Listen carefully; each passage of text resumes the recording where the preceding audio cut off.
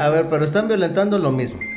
Número uno, dígame y preséntemelo. Aquí está el director de gobernación municipal, aquí está el representante del señor gobernador y aquí está usted empresa. Preséntenme en este momento el certificado de calidad de agua para uso humano que otorga la COFEPRIS. Que me lo presenten ahorita para poder tener el funcionamiento de dar agua doméstica para consumo humano. Preséntenmelo. Y si no lo presentan, entonces ustedes están fragantemente violentando la ley.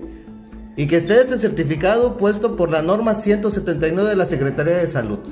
Estando el representante del gobernador, el director de Policía Municipal y la empresa. A ver, quiero que me lo presenten. ¿Cuántos meses de operación tienen?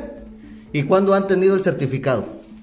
Entonces, la petición no es solamente... A ver, tú no puedes cobrar una política tarifaria cuando tú no estás cumpliendo con lo que la ley marca.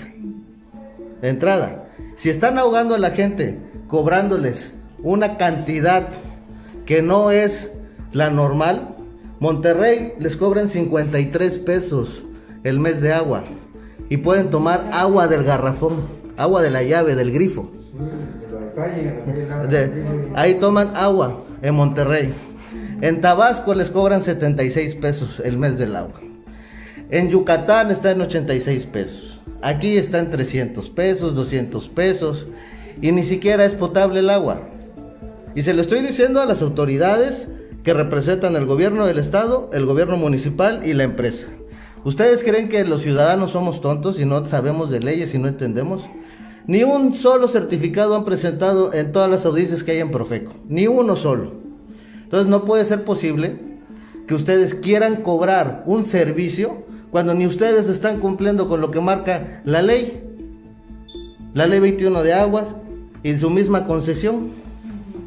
Porque su misma concesión dice que deben de dotar de agua potable a la población de la jurisdicción y dice que deben de presentar los certificados de calidad de agua para consumo humano que otorga la Secretaría de Salud.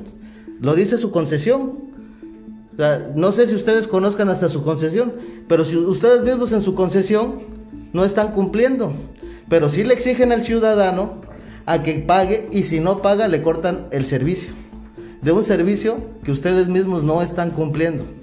Entonces, no podemos no podemos seguir eh, en estos vicios. Si tú me vas a cobrar un precio alto de una botella de agua que me estás vendiendo, esa botella de agua por lo menos debe de cumplir con las normas sanitarias debidas. Las plantas de tratamiento no están siendo trabajadas, están contaminando directamente a los cuerpos de agua. Y me estás cobrando un saneamiento de algo que no estás cumpliendo. O sea, aquí estamos jugando. O sea, la, la propuesta en la mesa es muy simple.